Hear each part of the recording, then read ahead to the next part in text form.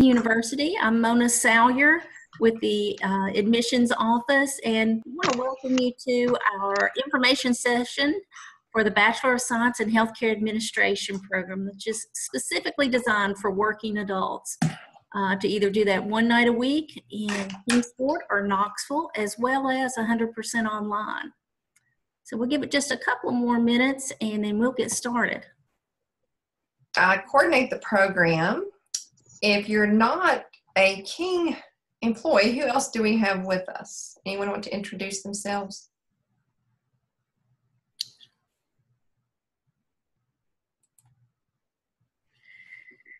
Okay, I think I recognize a couple of folks on here. Um, so that's good. Get, again, if we could give it just a, another minute or two.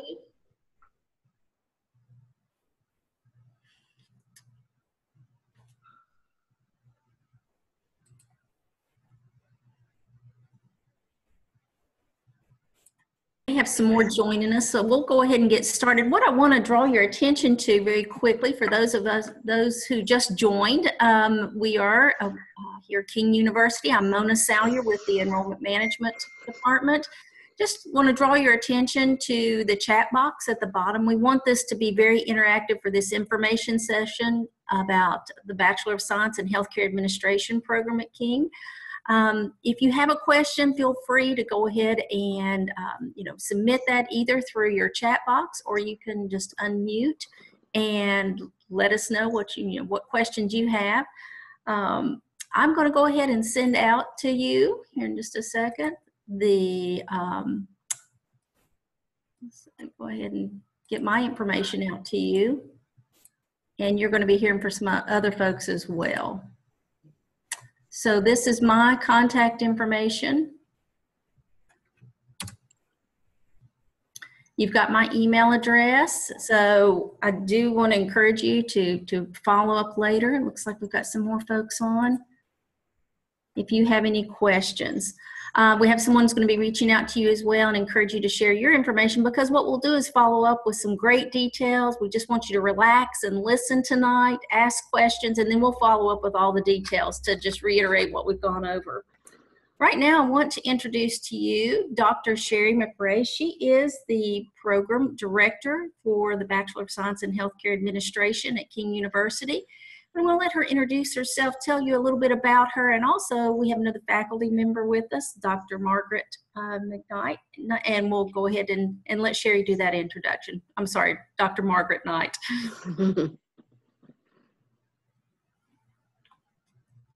Sherry, you're muted. All right, thank you. Good evening, everyone. As Mona said, I'm Sherry McRae. I coordinate the BSHA program here at King University, and I've done that for approximately six years. This program first started in the fall of 2012, and to date we've had a 232 graduates. So we certainly want to expand that, and hopefully some of you who are on tonight want to be in the next group of graduates. Among those have been students who've had a background in healthcare and also students who've had no healthcare experience prior to starting the program. So it's a program that works for anyone, regardless of healthcare experience. So it opens many doors. The um, more education that you get and you obtain, the more opportunities you're going to have in the workplace. Some of the examples of career pathways that students have taken. One is a nursing home administrator in South Carolina now. He started out with no healthcare background and completed this program and then did the requirements to become a nursing home administrator. Another example is a student who started out in retail and she started the program, got a job in a physician's office, and by the time she graduated, she was promoted to office manager. Several of our students continue on to graduate school. Roughly 60% pursue their graduate degree, whether that be an MBA, an MPH, PA school, um, health informatics, a variety of different pathways once this degree is completed. The content that is included in the courses in this program is useful content that students come back almost the next day and say, I used this very thing that we talked about in class the night before. Or if they're in the online format that they learned that week in that module. So I feel sure that the content is relevant to today's volatile healthcare world. It's an ever changing environment. And we keep up with the current information so that we can pass that along to our students. Many of the part-time faculty are um, current healthcare leaders, whether they be the CEO of a hospital. That person comes and teaches the leadership class occasionally. The CFO of another facility has taught the finance class. So, my point with that is that we have experienced instructors in the classroom who are practicing in the healthcare administration world on a day to day basis. So, more real life examples and up to date information. That also provides a great networking opportunity for students. Many times, the part time faculty who are employed at various healthcare organizations help students secure positions after they have graduated. Some of the courses contained in the program include there's a course in healthcare policy, one in quality management, epidemiology, population based health, communication, human resources, health informatics, marketing, ethics and legal issues, research and evidence based practice. So that gives you some idea of the topics that are covered during the 16 month program. So, in only 16 months, and that flies by so quickly, it seems like students will start, and before you can even blink, that 16 months has just passed by. It's not like you're stuck in, feel like it just drags on and on. It really goes by quickly. The face to face classes are one night a week in Kingsport. They meet on Wednesday evenings. And in Knoxville, they meet on Monday evenings, 6 p.m. till 10 p.m. So one night a week, four hours. That's the only time that face to face students have to attend class. And those same courses are offered 100% online as another option. Classes, regardless if it's face to face or online, are five weeks each. So students only have to think about one topic at a time instead of having three running concurrently for 15 weeks.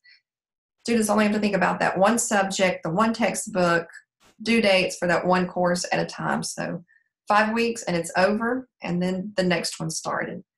So there are a total of 12 courses in the program. Again, that spans over 16 months, five weeks each. The professors in the healthcare administration program love adult learners. Dr. Knight and I have both been adult learners ourselves multiple times, so we truly get what it means to need that flexible schedule, need the support of faculty.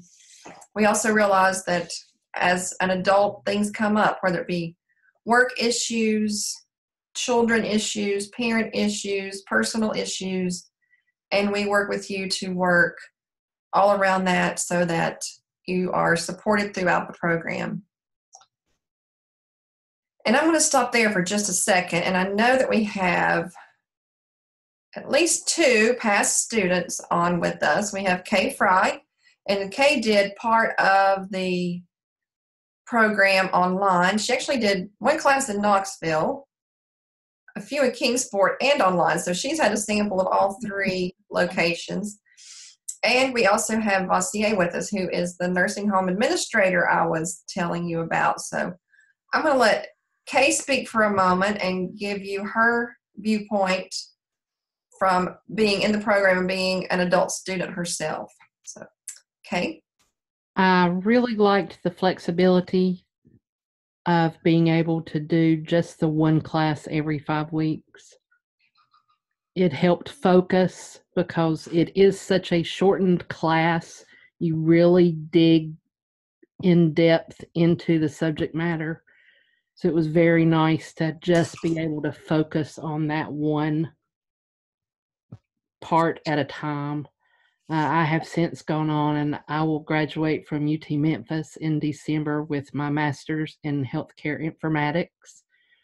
I never really knew that I liked the informatics world in healthcare until I went through the bachelor's program at King. Uh, so as soon as I graduated, I wasn't quite ready to jump back in to the deep end again. So I waited about a year and the difference is with my master's program right now, I am taking a full semester, but I've still only taken like one or two classes a semester, which is about 15 weeks. But it does show you other aspects of the healthcare world where I had been in radiology for 30 some years. You get kind of, I don't know word I'm trying to A sampling of all of the, the yeah, different. you get to see what's topics. really going on out away from your own little silo. environment. Yeah. So it was very interesting. I was very glad I did it. It showed my children who were getting ready to start college that, hey, you can do this. And it gave them a a bar that they felt like they could could do well in it as well. So Exactly. Thank you, Kay. Vassier, would you like to add anything to that? Um, I introduced you a moment ago before you even showed up and told them your success story. So, Vassier attended the classes in Knoxville, went through the entire 16 month program. And like I said, it goes by so quickly. So, do you want to share some thoughts? Mm, well, kind of sure. Uh, well, it's been definitely a um, uh, a game changer. The experience um, prepares you for uh, what is to come, the real world, really. So, you know, there's one thing between, um, from my experience, you know, there's there's something uh, called education, and there's something called experience. You know, there's they're two total things. You know, actually taking that theory that we've been educated on and actually putting into uh, application or make, making it happen as is is is is intriguing, but at the same time, it's um, it's an eye opener. Um, so it works, and you know the education you're getting there uh, is fantastic. You know you you have that um, that awesome preparation. Uh, but however, when you get into the real world, you know, uh, it feels like sometimes you get hit by a bus. Um, uh, and um, really, ex- education is powerful. You know, it, it prepares you mentally, emotionally. Uh, but whenever you get in the field, um, you know, there, there's you realize, oh my gosh, there's there's a lot more, and it's really not necessarily it's intimidating, but it's humbling. It begins as a humbling experience. And the more you dig into it, the more you realize, oh my goodness, I'm so not prepared for for what's coming. And I mean, you're and as you're struggling through, and as you're moving on, as you're fighting on, you're getting more experience. You become more, um, um, yeah, definitely stronger and more um, uh, kind of stamina grows. And the more punishment you get, you know, from from from from the field, the tougher you become and before you know it you know you see people in in your healthcare facility that look up to you like oh my goodness i don't know how you did it. And you know and that's very encouraging. It's like oh wow people look up to me you know? And that is super encouraging. And it feels like and, and as you look kind of look back and you think wow two years ago i was in that classroom kind of or i was at starbucks doing those um, Sherry papers and Dr. Knight's papers, you know, uh, day in and day out. And today I have this opportunity or possibility, blessed beyond measures, you know, to be um, leading a team, you know, of nurses, a team of, of a, a healthcare facility. That definitely is a, um, it's a, a phenomenal experience. But yes, you have to start. You got to start there, and you have to um, um, uh, push forward and be optimistic. Do you think the courses contained in the program have prepared you for your current role?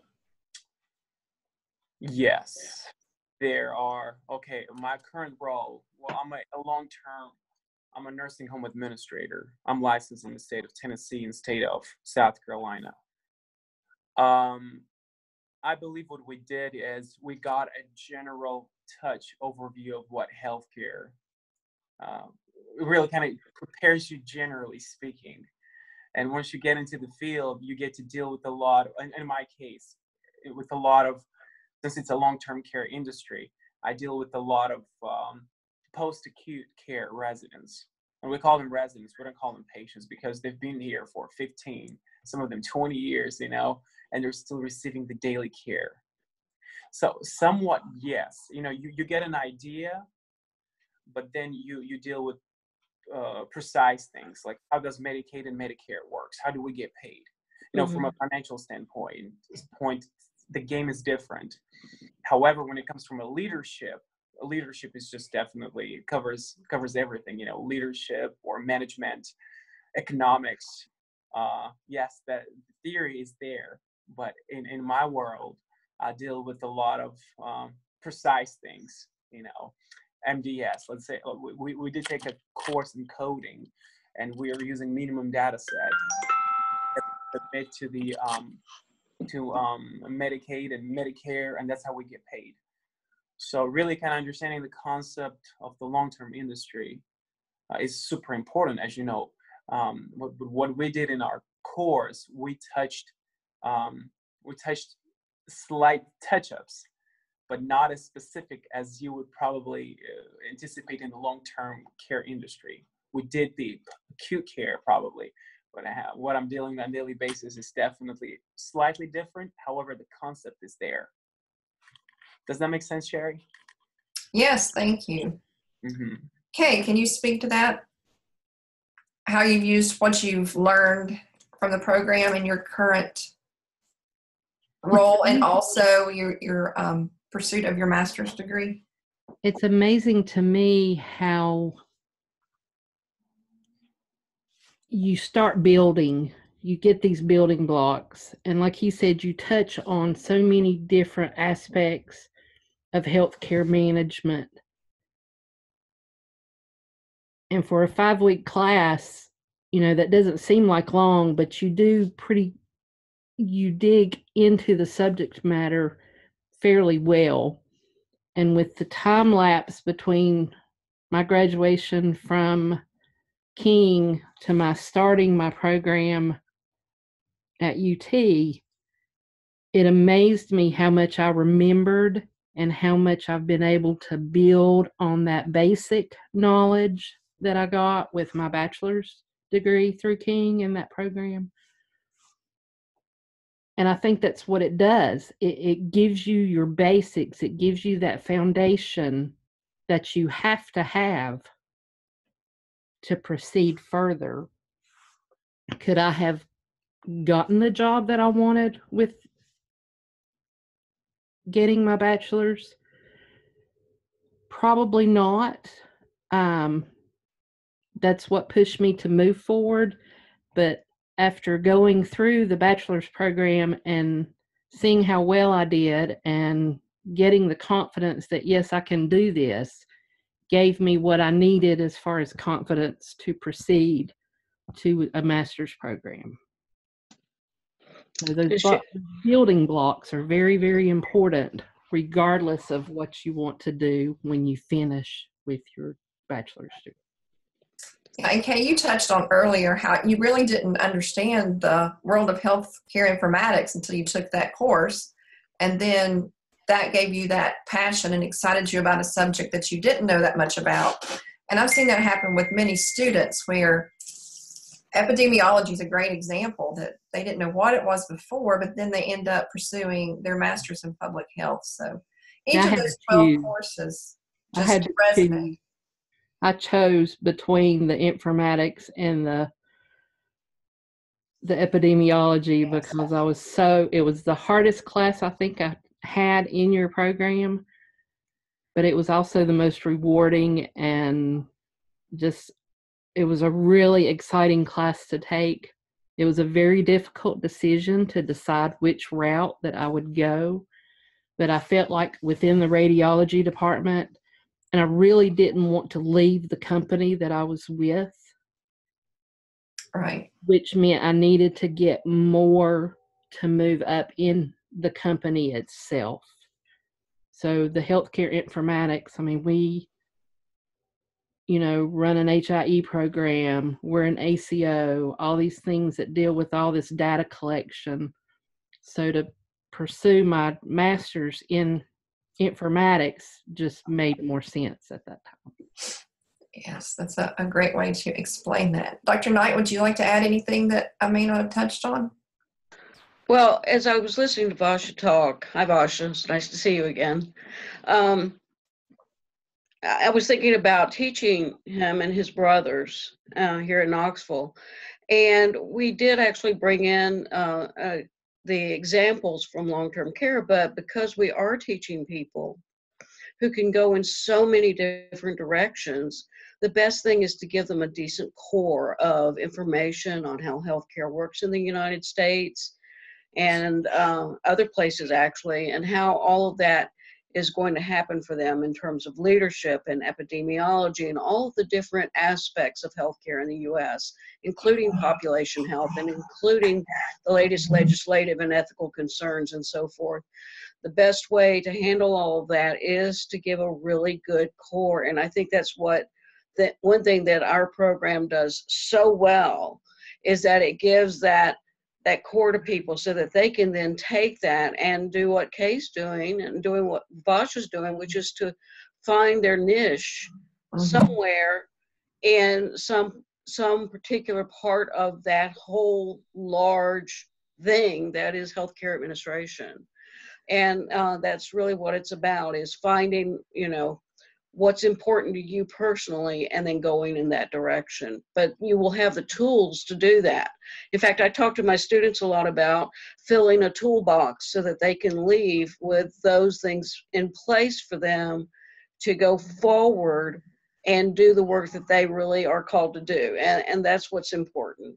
Um, and so yeah we do get very deeply into each topic but it is totally with the intention of giving people a set of tools and principles and so forth that they can then use in their own good work so i guess that's the only thing i would really add to it because you described the program excellently and i think the feedback from the two students has, has really helped to fill that out That's great additional content. So, with the remaining time, I'm going to turn it back over to Mona to talk a bit about the cost and the admissions process. And then, if any prospective students have questions, we'll be happy to take those too. So, Mona? Yes, thank you, Sherry, and thank you so much. This has been some great information. Um, what I wanted to speak to as far as the cost, we do have, as I mentioned, the program uh, face-to-face. The semester hour cost for that is two ninety a semester hour.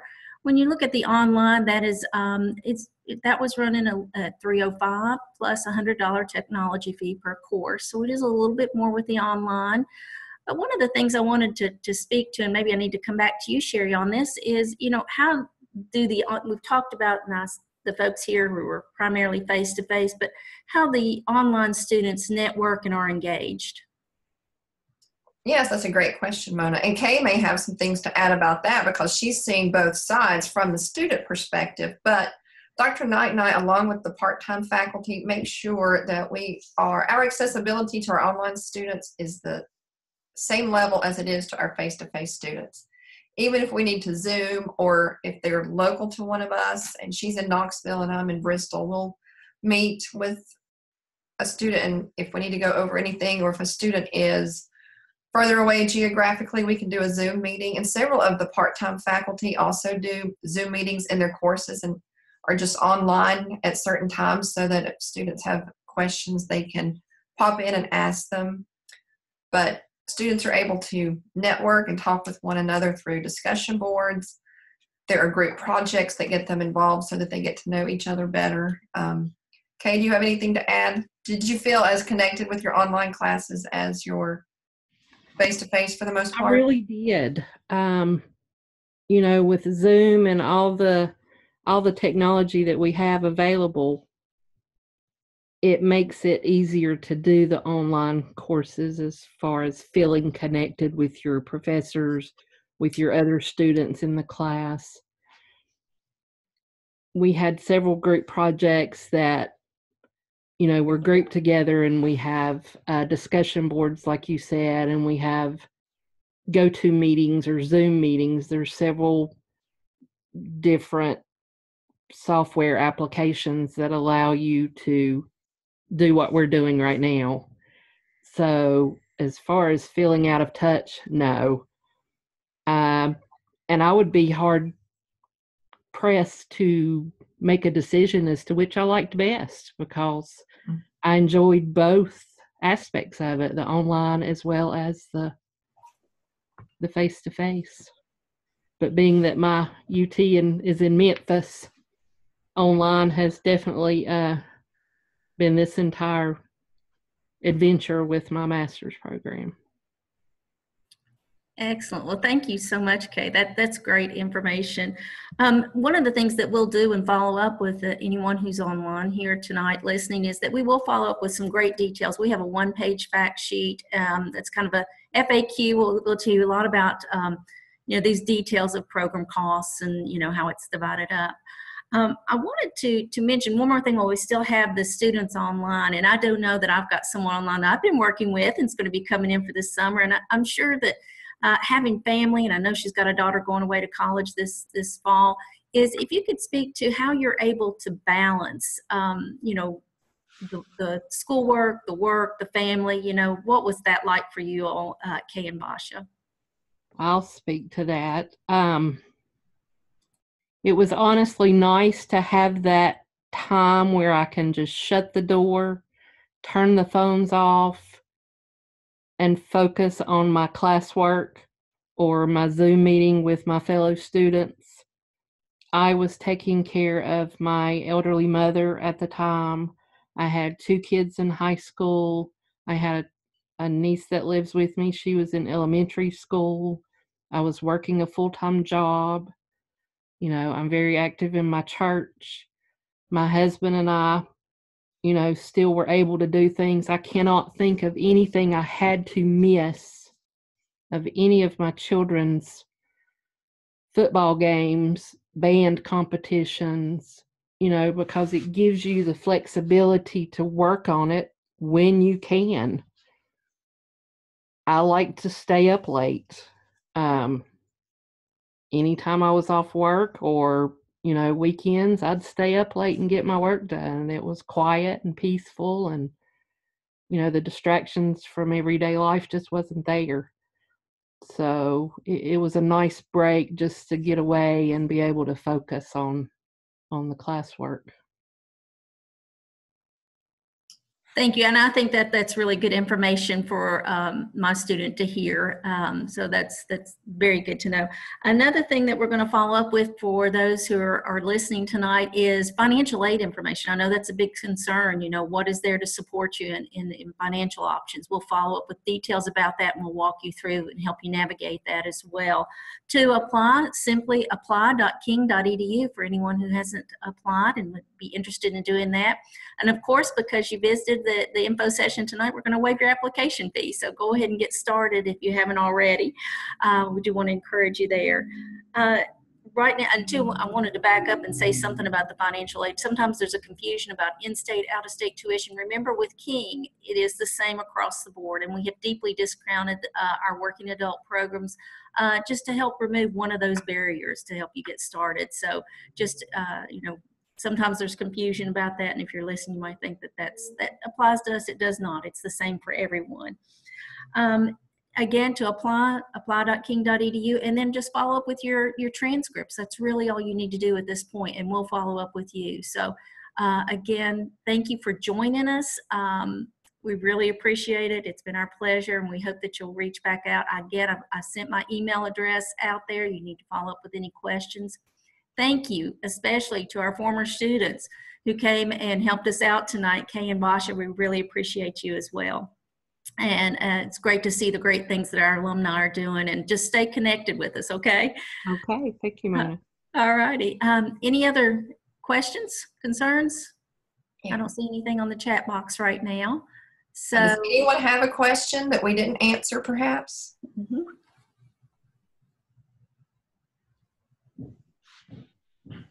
All right. Again, thank you, Kay and Vasha. It's great to see you both again. Um, you're both tremendously successful, and we love to hear those success stories. So, congratulations to all that you have accomplished. And we all really appreciate your time. And thank you, Dr. Knight and Mona, for all that you added. And I'm going to add my email and phone number to the text box so that if anyone has any questions, feel free to call me. We can have a one on one discussion, meeting, another Zoom meeting, email, whatever your preferred communication method is. We are there to answer those questions. There's my email and phone number. And we're right at 7:01, so there's our 30 minutes. Again, thank you all. It's great to see you. And if no one has any conclu- any questions, then this concludes our meeting. Yeah, it doesn't have to end here. Continue asking those questions and reaching out to us. We're happy to answer any of those. Thank you again.